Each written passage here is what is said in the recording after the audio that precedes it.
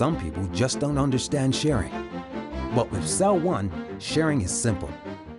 Introducing Cell One's new share plans, perfect for families and friends. For only $89, two people share unlimited in network calling, unlimited Blackberry social, and a bunch of anytime minutes and text messages. Plus, you can add your boy or anyone else for only $9. Cell One, the power of more.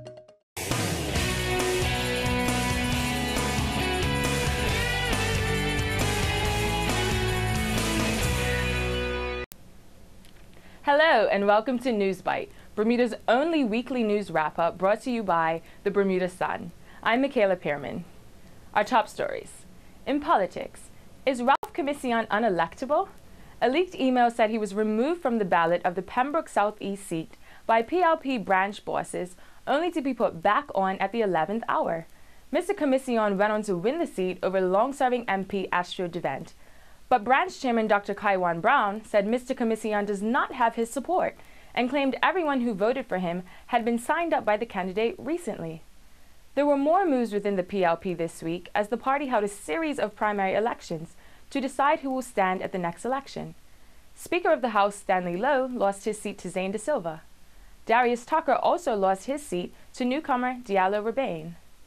But veteran MP Randy Horton kept his seat despite a challenge from lawyer Mark Daniels. And Neletha Butterfield also kept her seat, fending off David Burt.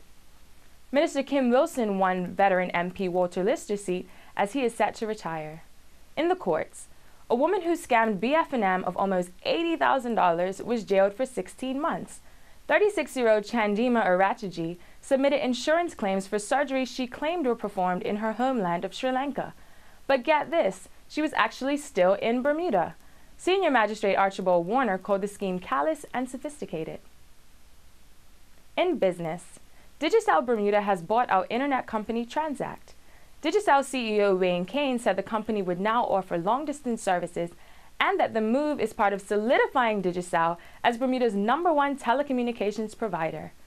While summer is almost over, that hasn't stopped a new barbecue eatery from opening next to the ferry terminal. The smoking barrel serves up ribs, jerk chicken, and fish, and more every day until 11 p.m. They are open later on the weekends. On a more somber note, police are preparing a file for the Department of Public Prosecutions in the death of Nasir Burgess, the 18-month-old baby found dead in a nursery last week. An autopsy has determined that he did not die of natural causes. Father Corey Burgess said the family is not taking the death well. In tourism, Vagrants about the city of Hamilton are promoting a negative view of the island to visitors. This is according to the Corporation of Hamilton, who say they are working alongside police to deal with this issue. As shown in these photos, cruise ship passengers are often greeted by Bermuda's homeless as they come through the ferry terminal and the Visitor Information Center. In the arts, spoken word artist Stephen Johnstone is celebrating the launch of a new album tonight entitled Labrago. Mr. Johnstone says it mixes personal stories with myth, love, sex, romance, and more. Tonight's party will be held at Chewstick from 8 p.m. This is his third album, and the release coincides with his 28th birthday.